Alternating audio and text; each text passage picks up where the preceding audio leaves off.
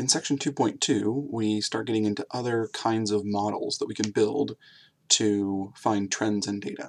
Just like we built linear models in section 2.1, in the remaining sections in this chapter, we're going to talk about models that are not straight lines, but more complicated curves. And the first example of that is what's called a quadratic model.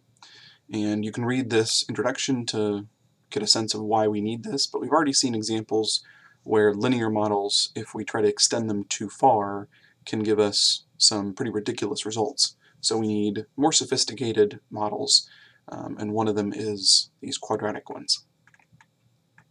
The first uh, section here just sort of introduces the idea of what a quadratic model looks like.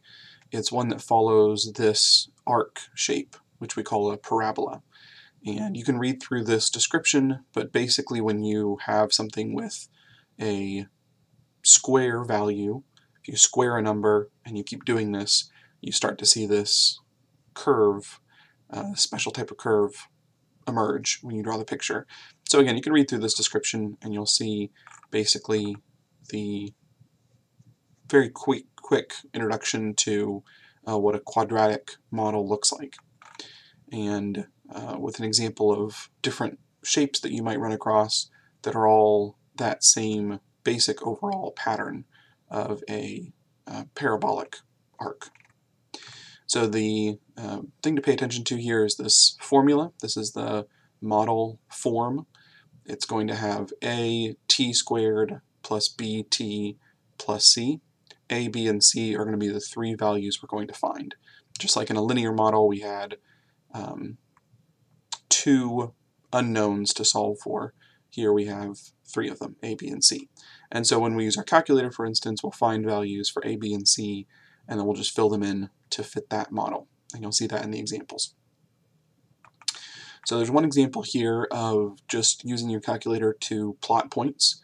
Of course, you can also use Excel or Desmos or anything else like that uh, to plot points. And the goal here is just to observe that curved trend that looks quadratic and sort of to recognize that.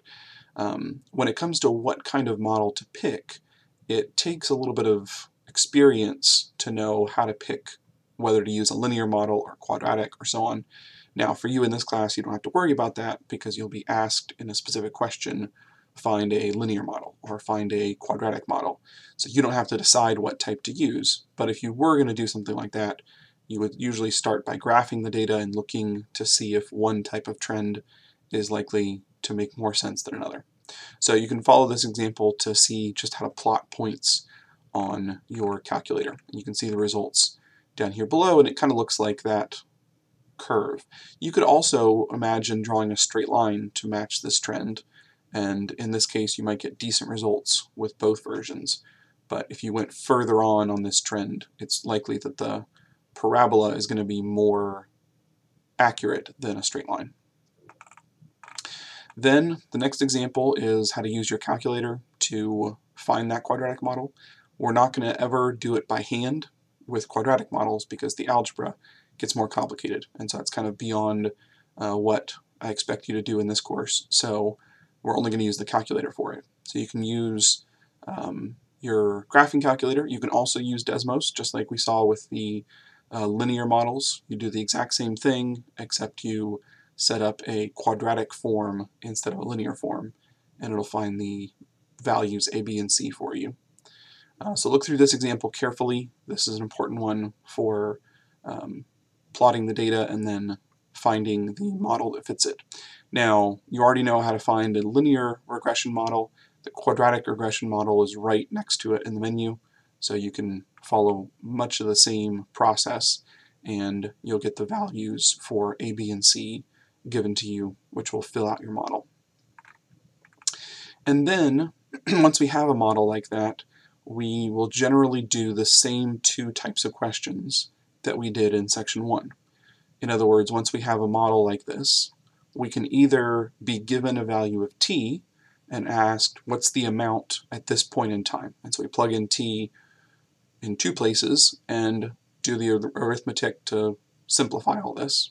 That's one question. The other question is where we're given an amount that'll go over here on the left and asked to solve for t. So both of those questions we saw in section 1, and both of them are also here in section 2. So follow this example carefully. The process for doing those two is similar to what we did in section 1, especially when you're solving for t. We're not going to do it by hand here. We're just going to use that graphing approach where we uh, plot the horizontal line and look for where they cross. And so you can follow that example carefully.